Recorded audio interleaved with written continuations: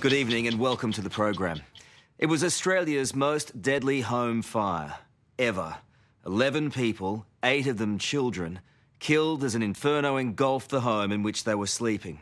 Two families, together for a cousin's sleepover, ripped apart by tragedy.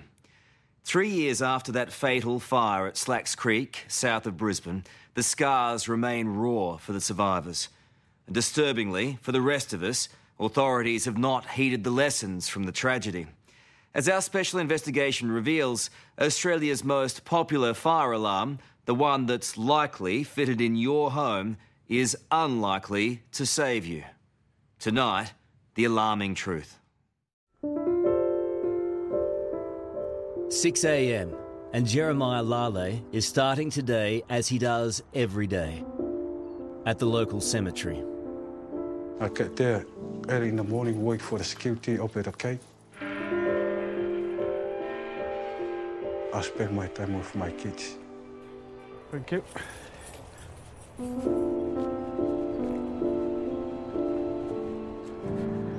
Good morning, kids. Morning, Han. Going there, cemetery, sitting there. Hey.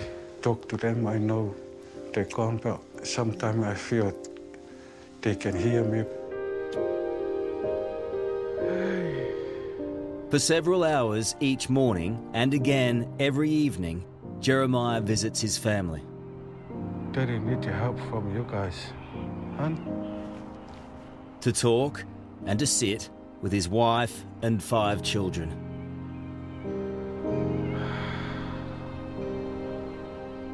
At the cemetery, I sitting there crying. Keep talking to them. Told them, I know you can hear me, but I can't hear you. You lost everyone. Lost everyone, everything. Everything.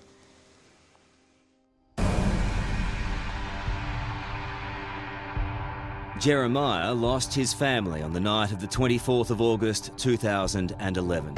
The dawn light revealed a scene of devastation at this house in Slacks Creek, southeast Queensland.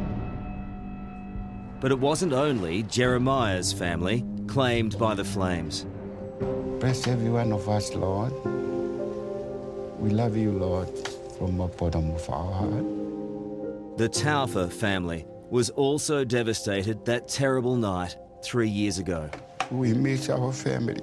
We love you. We ask all these things in the name of your Son, Jesus Christ, our Lord. Amen.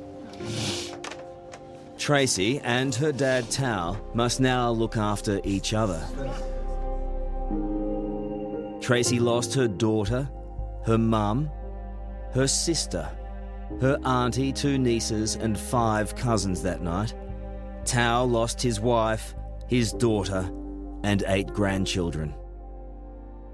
I don't know how you even breathe with the level of grief you've had to endure. I have to stay strong for my father. Many times, you know, a lot of darkness, but he keeps me going. This is my daughter here. Hmm. This is my mom. It's tough, isn't it? This was a family that spent every Friday night together. It was around midnight and Tao was still awake when he realised there was a fire in the house. And I saw this light in my in my office. It looked like a mist of smoke come up at the floor. It looked like there's a fire. So I called out to my two son-in-laws, come down and help me. And I grabbed the hose, tried to put the fire off. We thought that we are gonna put it off. Within moments, the smoke has turned to roaring flames. Jeremiah is woken to his father-in-law's desperate screams. It's very dark, very dark and very hot. Smoking inside, you can't see, even can't see your hand inside the house. I called my wife's name, uh, Janet, and the kids, the name of my kids. I thought maybe they already outside when I jumped from the window. And I tried to come back to the house. The, the fires everywhere.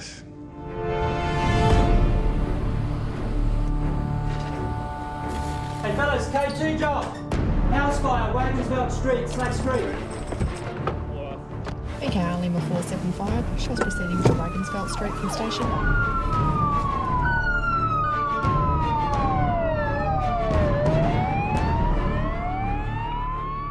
Sergeant Jacinda Panowitz was in the first police car to arrive on the scene.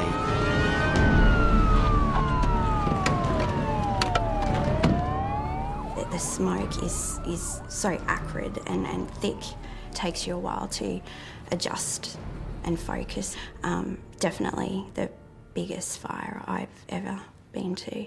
Was the early hours when that fatal fire broke out. Woman's voice desperately screaming, My children, my babies. 14 people, including eight children, were inside at the time. Sergeant Panowitz soon found Tao sitting in the gutter outside the blazing home. He just said, It's my house. I, I can't find my family. I remember we went through the well, who's your family? How many people? How old are they? And he just kept talking, and the, the names kept coming, and we hit 11. And um, I, I just remember, can you, you say again? I, 11. Are you talking about 11? The last of the bodies were recovered early this afternoon. As a van carrying another body disappeared, the first of many goodbyes. Out of the ashes, unbearable grief, unimaginable loss, and also a heartbreaking lesson. It make the difference between surviving and dying in the fire. It can make that much difference. David Isaac is Australia's leading fire safety expert. He, like so many, was horrified by the Slacks Creek tragedy, but he certainly wasn't surprised. There are two types of smoke alarms. This one is a photoelectric, and this one is an ionisation. They look the same, they feel the same, they cost about the same. This is the one that's in more than 90% of Australian homes. In fact, it's probably the one in your home. Hmm. Coming up, there's smoke, That's really toxic. but no alarm. We're gonna have to get out of here now. How $50 could save your family. And sleep easier. And wake in the morning alive. So, what are authorities waiting for? What will it take to save lives? That's next on 60 Minutes.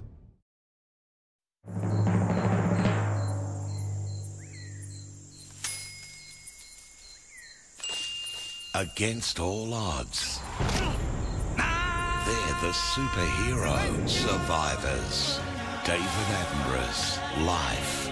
Wednesday, 7.30 on 9. To stand tall, one must first stand comfortably. Good thing I bought new shoes. Now is the time to unleash your life force. Good thing I bought a Jeep.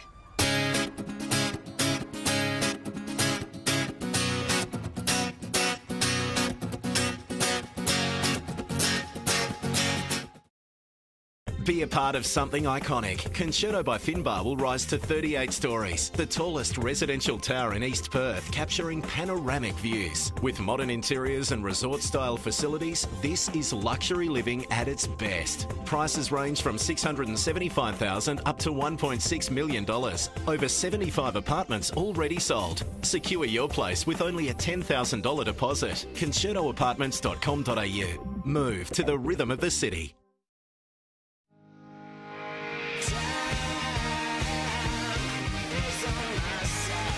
Don't just dream about doing those things you'd love to do. Grab a ticket in the $21 million Saturday Lotto Super Draw and give luck a chance.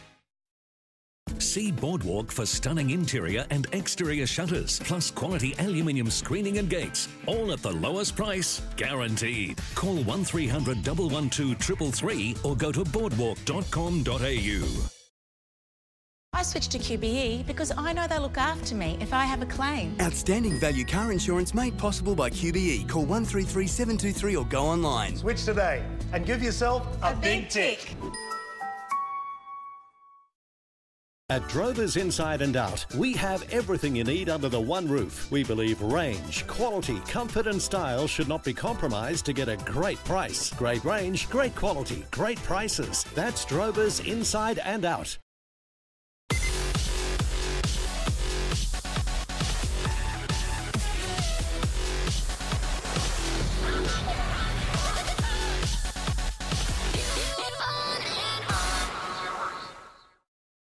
Oh, look at this. Even left-handed and stuck to your missus, you can get on a trifecta. You're floating, mate.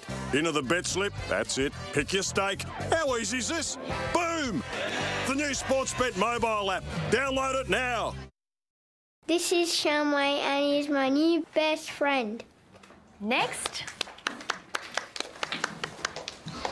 This is a carousel and I found it on a very remote beach called Rafferty's Bluff where we went for the weekend. My brother also found a long They must have got a jeep.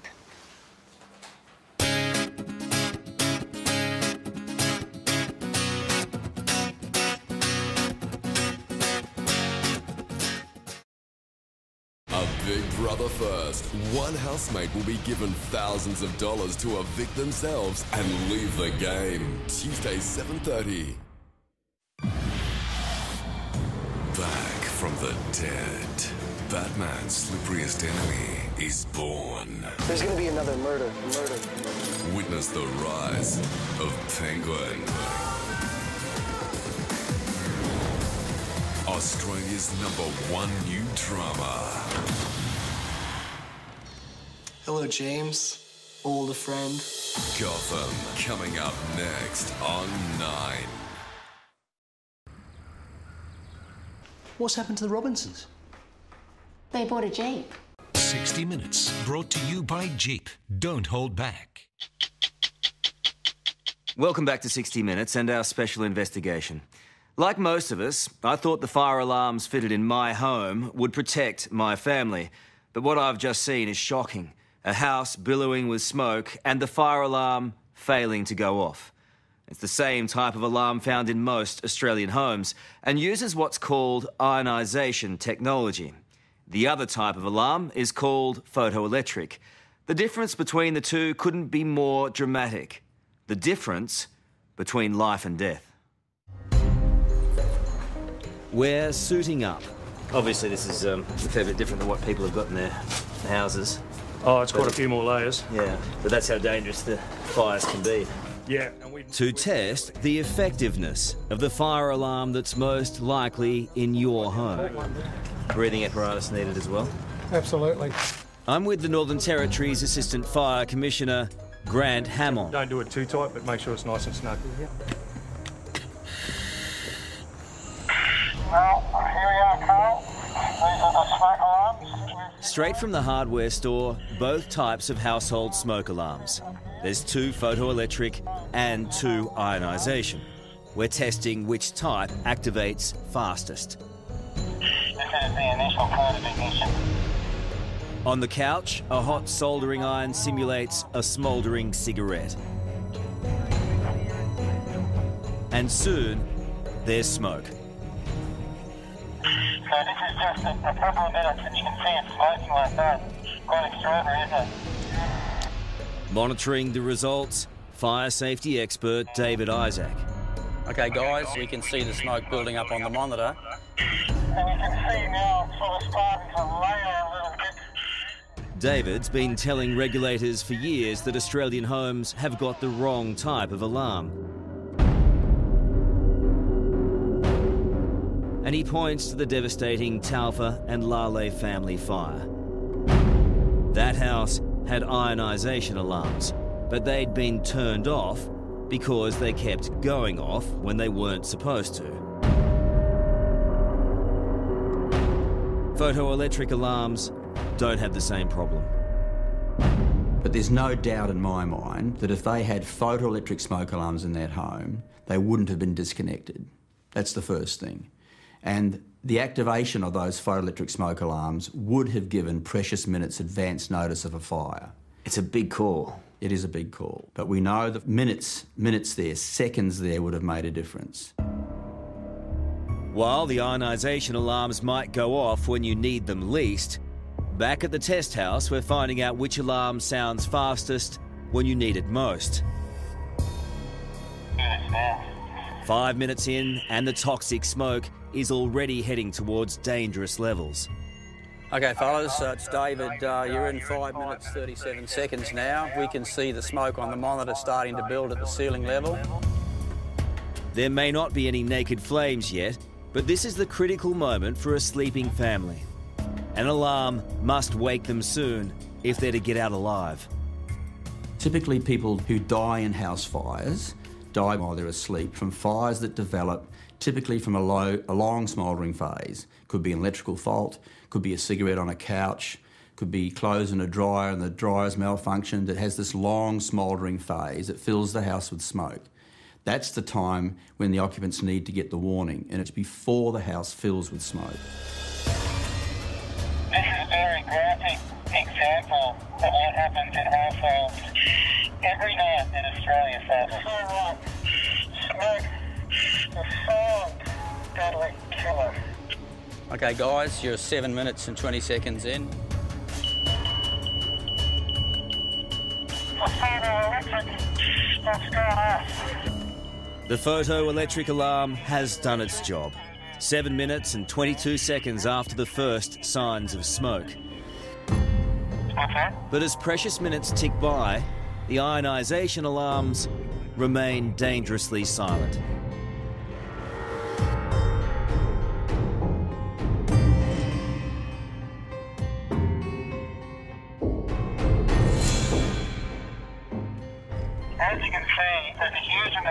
Of smoke that has built up inside him.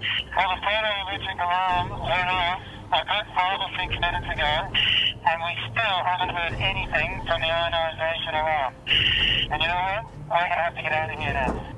Yeah, good on you guys. I think it's time to get out. You ready to leave? This smoke is toxic.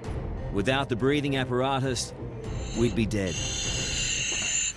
I had no idea it would be that graphic and that difficult to be in that room at that time. And the reality is, 90% of Australians don't know there's a difference between these alarms. We're told to leave the room and abandon the test after 15 minutes. And still, the ionisation alarms are dead silent. Not long after, smoke turns to fire. It's these sorts of results that have led the Northern Territory to make photoelectric alarms a legal requirement in all homes, the only jurisdiction in Australia to do so. The evidence was persuasive enough for us to have it made law and mandate that photoelectric alarms are installed in every residence in the Northern Territory. That includes caravans, transportables, demountables, and even those high class safari tents that you see at resorts. Even in the tents. Absolutely. Is it making a difference? Well, we believe so. Early days yet, um, but anything to save lives. For years, David Isaac has been arguing with state and federal authorities to make photoelectric alarms compulsory in all homes right across the country. Frustrated, he's now breaking ranks and speaking out. Been trying to do it for personally now for nearly 10 years. And we produced all the CSIRO test evidence which shows how bad these things are in the test fire in the CSIRO laboratory. It defies logic. It does. And we kill between 50 and 150 people a year in residential home fires. But I can guarantee you that if photoelectric smoke alarms were mandated in homes in Australia and New Zealand, that the death toll from residential fires would drop because people would get early warning. There's very little difference at the end of the day in terms of adequate warning. Neil Savery is General Manager of the Australian Building Codes Board, the body that recommends which fire alarms will keep you safest in your home. Every study that's been done of late has said that the photoelectric alarms give you valuable minutes, valuable minutes on top of the ionisation alarms? Well, the board is not satisfied at this stage that it needs to make any further changes to the code. What, what will it take for the board to make that decision to save lives? That, well, the, the board has taken numerous decisions to save save lives. In fact, but this is a, this this, is a very simple one. This is a very simple one. This alarm goes off sometimes five or six minutes before the other. Well, I'm just saying, look, there are two out there. Yeah, there are. One's better than the other, clearly.